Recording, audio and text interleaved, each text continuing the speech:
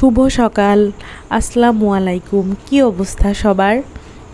আশা করি সবাই অনেক ভালো আছেন। আর এই তো আজকেও সকাল সকাল ঘুম থেকে উঠে গেছি।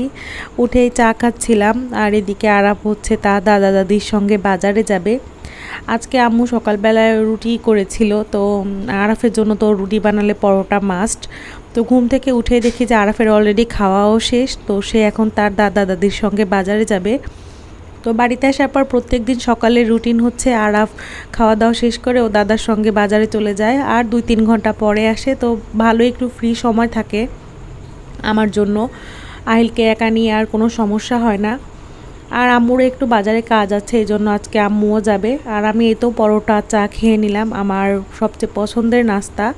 আর এখানে আহিলের একটু মন খারাপ ছিল যে তাকে কেন নিয়ে যাচ্ছে না। তো আম্মুর হচ্ছে খুব ইমার্জেন্সি ডক্টর দেখানো লাগবে। আম্মুর দাঁতে একটু প্রবলেম হয়েছে এই জন্যই যাওয়া। না হলে আমাকে আসলে একা রেখে আম্মু যেত না।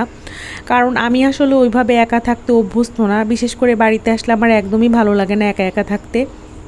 তো যাই হোক, এখন এই তো আহিলকে আমি সকালবেলা খাইয়ে দিচ্ছিলাম। যেহেতু সকালে রুটি বানানো হয়েছে, তো আহিলের জন্য সুজি রান্না করা হয়েছিল।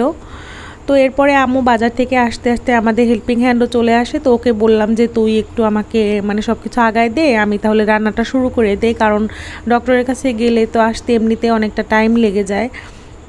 যেহেতু দাঁতের ট্রিটমেন্ট হচ্ছে, হাতে কলমেই করা লাগে এই জন্য তো আম্মু আস্তে আস্তে আমার রান্না হাফ কমপ্লিট হয়ে যায়, বাকিটা হচ্ছে আম্মু এসে পরে কমপ্লিট করে। আর আমি এখন হচ্ছে জাস্ট একটু সব কিছু আগায় দিচ্ছিলাম। আর এই তো নর্মাল একটু গল্প টল্প করতেছিলাম। আর এদিকে আম্মু হচ্ছে ডাল ভেজে রাখতেছিল পরের দিনের জন্য। এরপরে মেজো চাচি শাশুড়ি মা, এই তো পিঠা আর হচ্ছে মাংস দিয়ে গেল। তো দুপুরবেলা এটা দিয়ে লাঞ্চটা সেরে নিলাম। ভাত আর খেতে ইচ্ছা করতেছিল না। এরপর এই তো সময় আর যাচ্ছিলই না। আর বিকালের দিকে একটু ঘুম ঘুম আসে, কিন্তু আমি হচ্ছে ঘুমাই না, কারণ রাতে তাহলে আবার ঘুম আসে না। সকালে উঠতে এমনিতেই আমার লেট হয়ে যায়। তো এখন আহিলকে একটু ঘুম পাড়িয়ে দিলাম। তারপরে হচ্ছে আমি এখানে সন্ধ্যার নাস্তার জন্য নুডলস রান্না করতেছিলাম। তো আমার আসলে খেয়ালই ছিল না যে সন্ধ্যায় কিছু রান্না করা লাগবে, কারণ ভাবছিলাম যে সুজি আছে, পরে দেখি যে একটু পিঁপড়া ধরে গেছে সুজিটাতে। তো কি আর করার? পরে আর ওইটা তো খাওয়ানো যাবে না। এখন আরাফাইলের জন্য এই জন্য আমি এখানে নুডলস রান্না করে নিচ্ছিলাম। আর অনেকেই আমাকে সেদিন ইনবক্সে একজন মানে সরাসরি আমার পরিচিত একজন জিজ্ঞাসা করতেছিল যে, আসলে কি তোমার সঙ্গে তোমার শাশুড়ির সম্পর্ক ভালো? নাকি হচ্ছে মানে ভিডিও দাও, সেই জন্য বলো।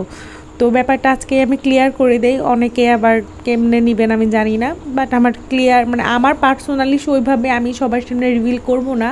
তারপরেও যতটুকু আমি শেয়ার করতে পারি যে হ্যাঁ আলহামদুলিল্লাহ, এখন পর্যন্ত আমার সঙ্গে আমার শাশুড়ির সম্পর্ক অনেক ভালো। আর সবাই দোয়া করবেন যাতে সবসময় আমরা এভাবে মিলেমিশে থাকতে পারি। আর বাবা মা সবারই আছে, আমার নিজেরও যেমন বাবা মা আছে, আমার হাজব্যান্ডেরও তেমন, তারা বাবা মা, তার মানে তারা আমারও বাবা মা।